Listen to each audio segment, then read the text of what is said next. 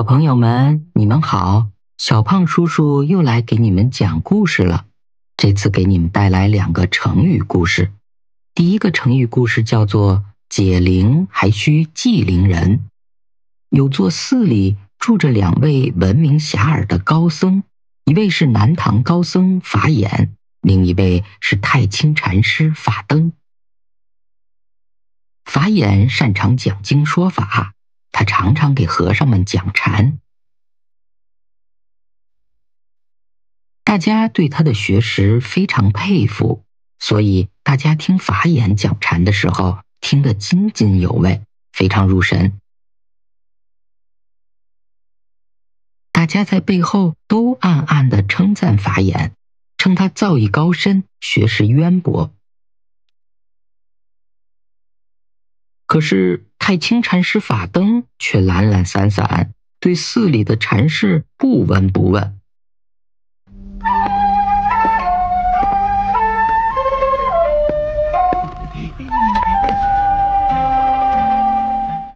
和尚们背后品头论足，不把法灯放在眼里。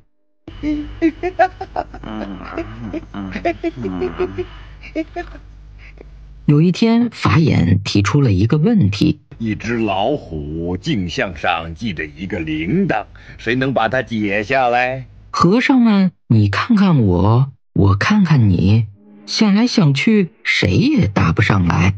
这时，恰恰法灯来到，法眼就请他回答：解铃还需系铃人呐。答得好，你们小看他不得呀。众和尚顿有所悟。这个成语的寓意是比喻谁造成的问题，仍需由谁去解决。第二个成语故事叫做“披荆斩棘”。冯异是汉光武帝刘秀手下的大将，东征西伐，给刘秀立下了许多战功。每次打完仗，冯异从不与别人争功，而是把功劳归给别人，自己独自坐在大树下坐着。有一次，刘秀长途行军来到饶阳，那时正值天寒地冻，部队又冷又饿。冯异让人送来一大锅刚刚熬好的姜粥给大家喝。刘秀等人喝了姜粥。饥寒顿消，精神振奋。又有一次，刘秀带了一行人去南宫县，路上正好赶上大雨，都淋得像落汤鸡一样。一到地方，冯异便找来干柴点火，让大家取暖烤衣。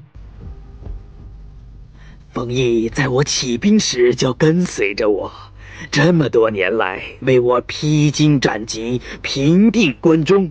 平日里有大事小事，从不辞辛苦的操劳，真是功劳不小啊。后来刘秀做了皇帝，任命冯异坐镇长安，人们称他为咸阳王。成语“披荆斩棘”比喻砍除了一切障碍，在艰苦中开路前进，勇往直前。好了，今天的成语故事就讲到这里。如果您喜欢的话，欢迎订阅、评论和转发，我们下次再见。